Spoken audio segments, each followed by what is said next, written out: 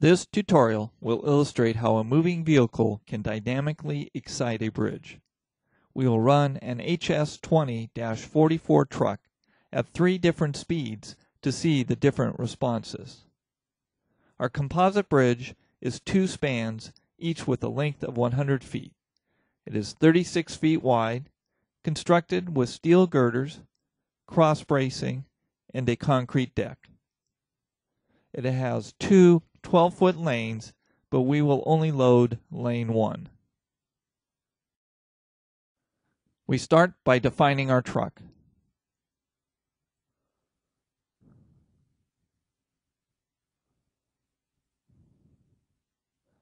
When using a vehicle load for a dynamic analysis, it is important to use a truck load and not a lane load.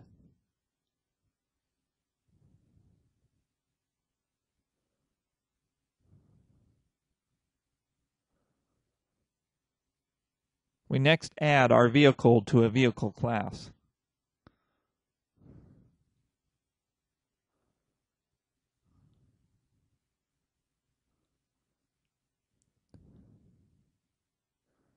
Now we will define our moving load case,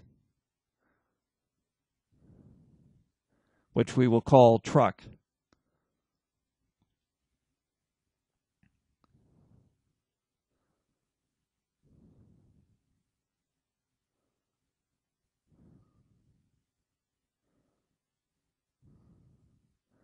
Clicking on the Modify Moving Load button allows us to specify how the trucks will run over the bridge. Here we can specify the vehicle, the lane, the start time, which for the first truck will be zero, and the speed, which will be 75 feet per second for the first truck. For the second truck, the start time will be 6 seconds, and the speed will double to 150 feet per second. For the third and last truck, the start time will be 11 seconds with a speed of 300 feet per second. We are using speeds higher than typical to cause a significant excitation of the bridge. We will use a 15 second duration for the load and a 0.05 second step.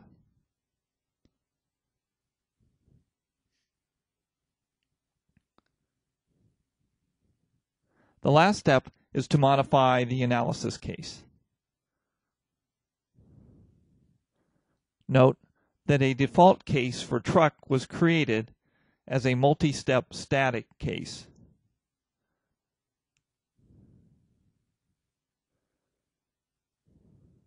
We will change this to a time history analysis so that the dynamic behavior will be included.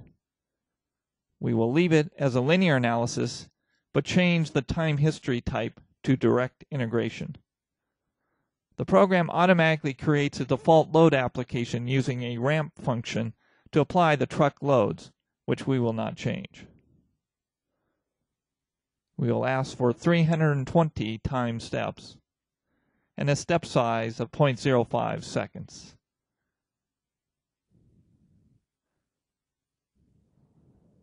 We are now ready to run the analysis.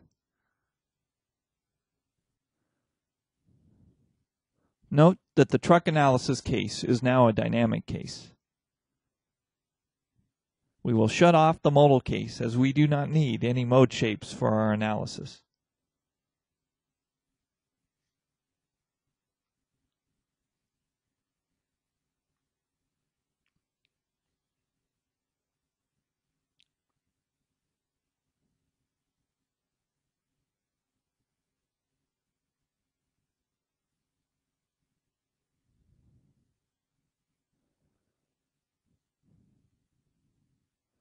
With the analysis complete, we can display the deformed shape. In this case, we will show the shape at one half second into the analysis. However, the dynamic effects of the vehicle loading can best be seen by creating a movie.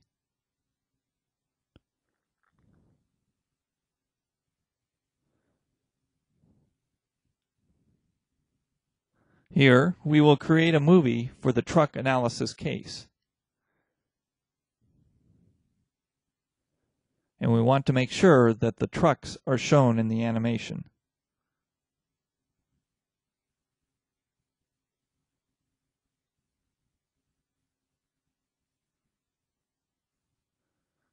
When we play the movie, we see that the first truck has a limited dynamic effect on the bridge.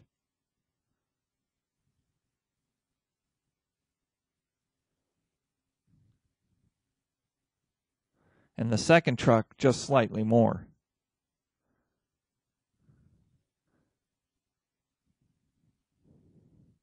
However, the third truck causes significant excitation of the first mode of the bridge. Once again, the first truck at 75 feet per second.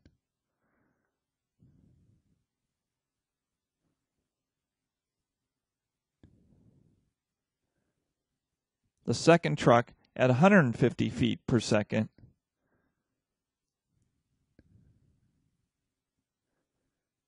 And the third truck at 300 feet per second.